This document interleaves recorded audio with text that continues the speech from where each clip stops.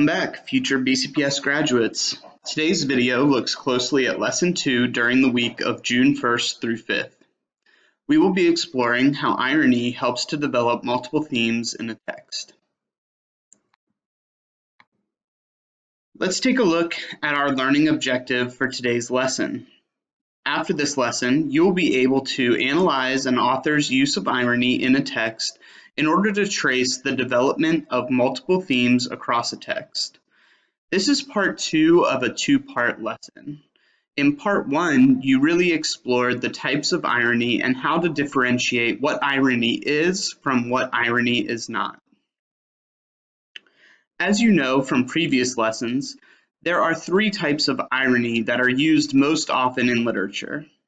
Those are dramatic irony, where the audience knows information that the characters are not aware of, verbal irony, where what is said is different from what is meant, and situational irony, where there is a difference between what the audience expects and what actually occurs. These are skills that we've already been working on in previous lessons in isolation, for example, in a previous lesson, you looked at how irony was developed at the end of A Soldier for the Crown. In a different lesson, you've looked at how multiple themes interact and develop over the course of the text. Today, we are going to put those two pieces of learning together to look at how irony develops and enhances the interaction between multiple themes.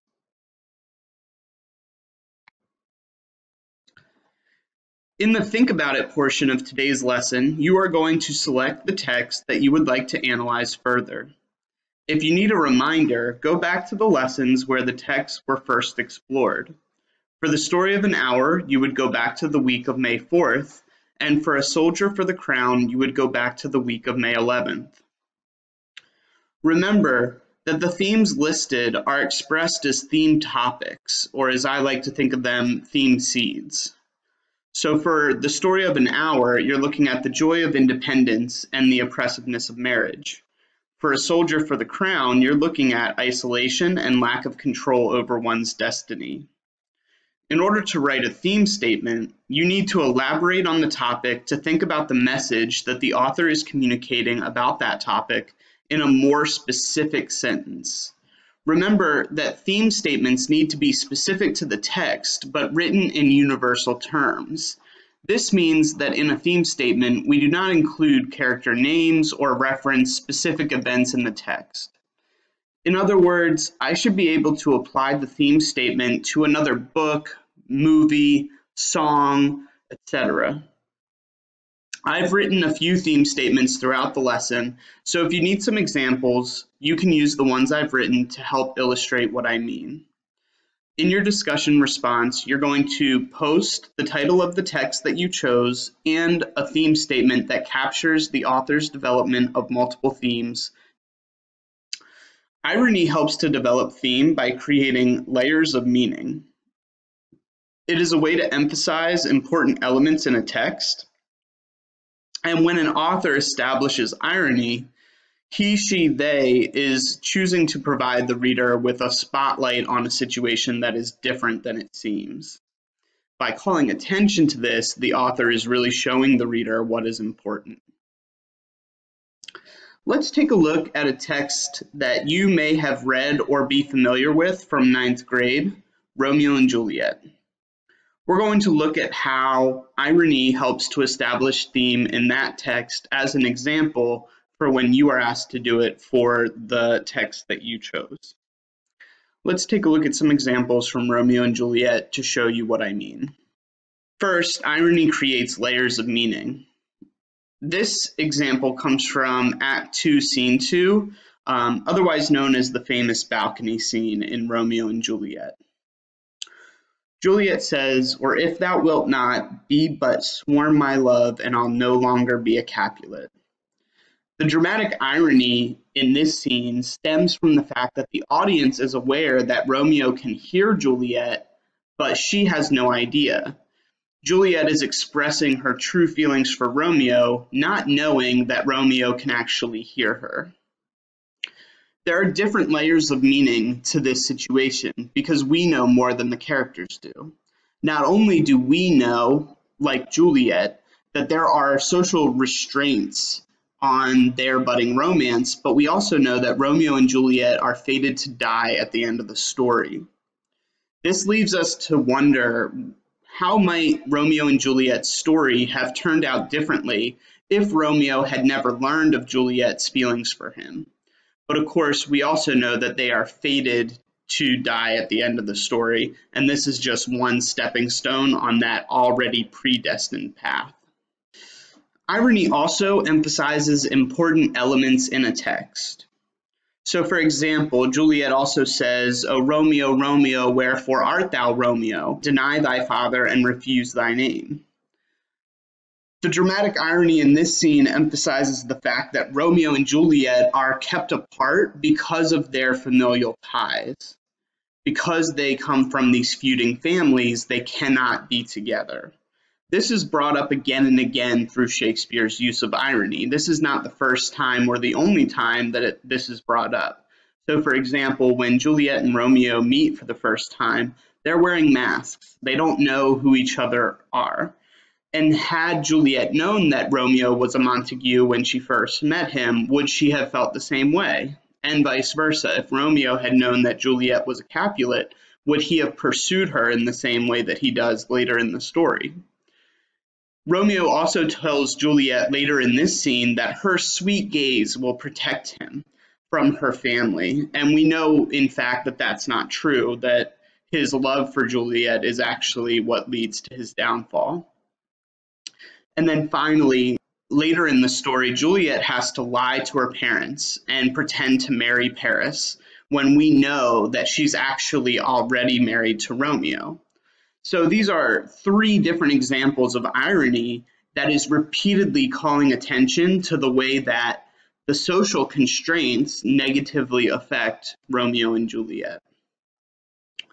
Next, we know that when an author uses irony, um, it's calling a spotlight on a situation that is different than what it seems. So, for example, um, Juliet professes her love for Romeo, and then Romeo says, Shall I hear more or shall I speak at this?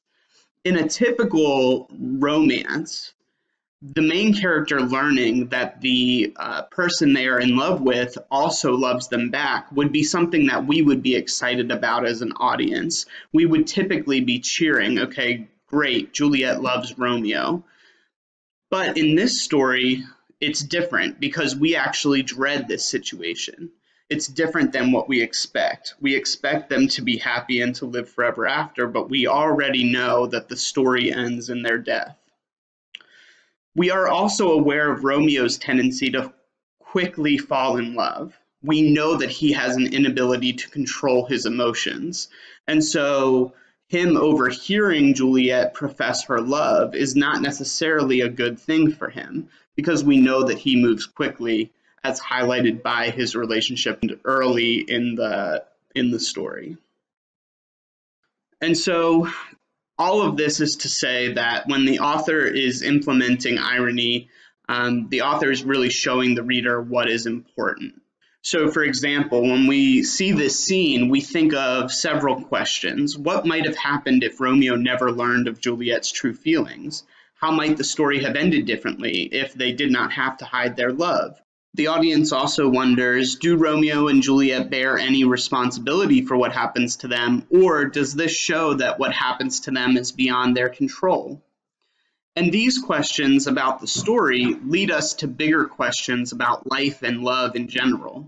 So, for example, can love be a dangerous emotion for those not ready for it? What social constraints exist in our world that negatively affect what happens to us? And what degree of control do we have over what happens to us? Now that I've shown you an example of how irony can help to develop theme, I want you to reread the passage from your selected text. And you're going to annotate the passage in order to locate the examples of irony in the passage, um, how the irony is used to create emphasis, and why the author might have wanted to create that emphasis as it relates to the themes developed in the story. I'm going to take a look at an example from the story of an hour.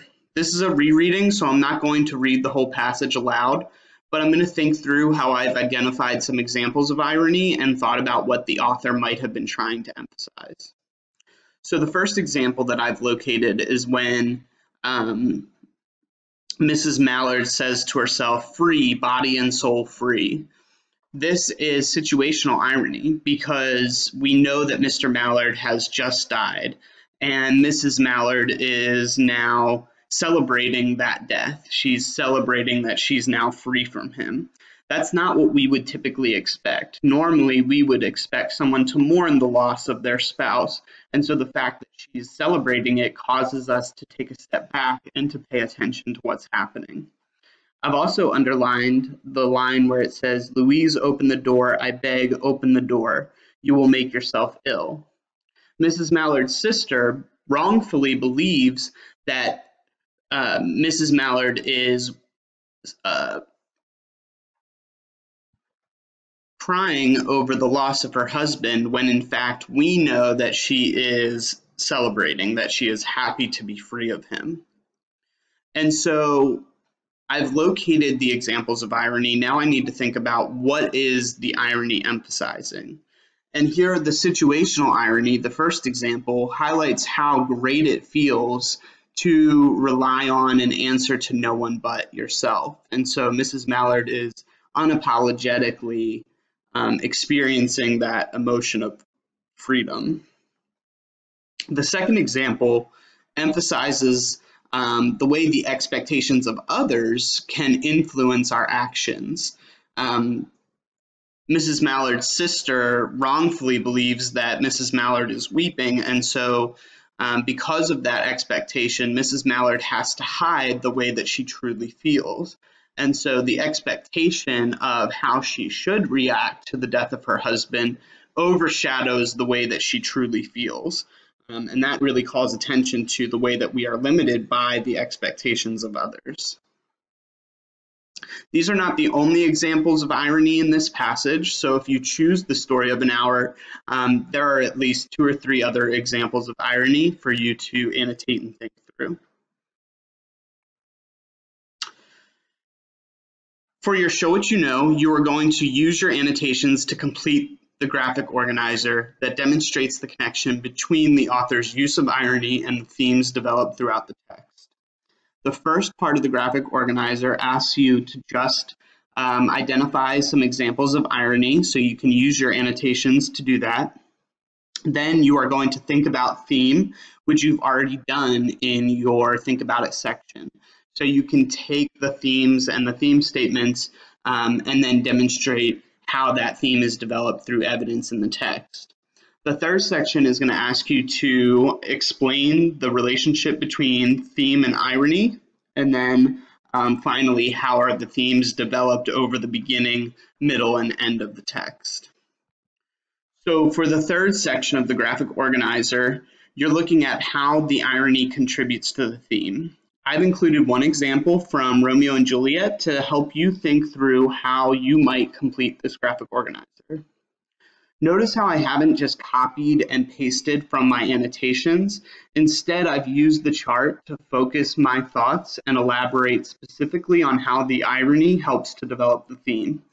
So I've demonstrated how uh, the irony such as when Romeo falls in love with Juliet hours after his failed pursuit of Ros- Rosalind, um, the way that he passionately pursues her after learning of her true feelings for him by hiding, and how he wrongfully believes that his love for her will overcome the other obstacles, demonstrate how love is a dangerous emotion for those who are not mature enough to handle it.